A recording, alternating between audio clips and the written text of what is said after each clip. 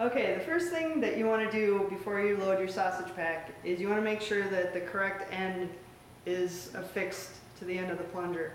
And to do that, you want to look and make sure that you have this plastic part.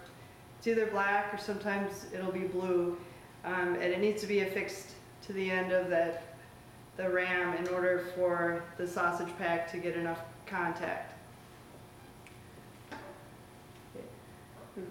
Verify here, um, to move the plunger back and forth, you depress the lever at the back of the applicator, and you can move the ram back and forth.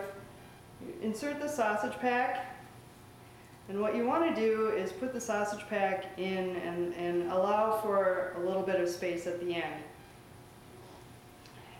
In order to open up the sausage pack, all you really need to do is, is make a slit in the end that's going to be parallel to the, the crimp at the end. It's not necessary for you to cut off the entire crimped area. But if you make a slit about a half an inch, three quarters of an inch long, that's more than enough in order to um, get adequate flow from your applicator.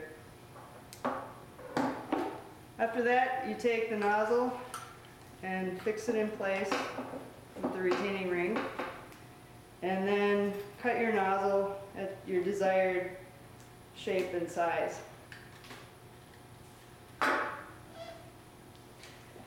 Then you're good to go. So you start squeezing the trigger. You apply product to your substrate, and then if you need to stop and start, when you stop, you click the lever on the back, and that will relieve the pressure at the end of the sausage pack. Thank you for visiting the 3M Adhesives Lab today.